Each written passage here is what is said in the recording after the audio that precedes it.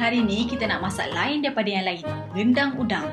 Bahan yang digunakan ialah satu bungkus pes rendang agromas, satu paket serbuk santan kelapa agromas, tiga batang serai yang dah dihiris.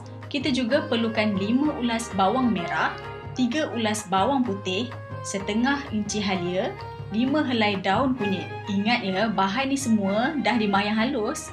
Sebagai penambah rasa, kita perlukan juga 250 gram cendawan tiram, minyak masak jangan lupa, garam dan bahan utamanya 500 gram udang. Mula-mula, panaskan minyak, tumis bawang merah sampai dah naik bau. Hmm, dah sedap dah bau ni. Baru masukkan pes rendang agromas dan tunggu sehingga masakan tu mendidih. Kemudian barulah masukkan udang yang segar ni. Kecilkan api dan gaulkan dulu bagi sebati sampai dah agak-agak udang tu masak. Barulah masukkan serbuk santan agromas yang telah dibancuh dengan air. Kacau sampai santan tu larut dalam masakan kita.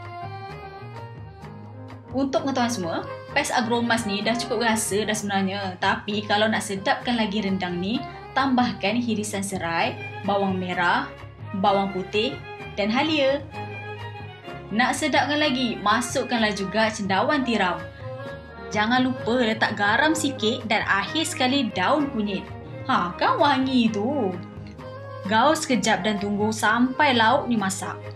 Hmm, aromanya naik sampai jiran sebelah pun boleh bau. Ha, dah siap untuk dihidang. Apa lagi jemput makan.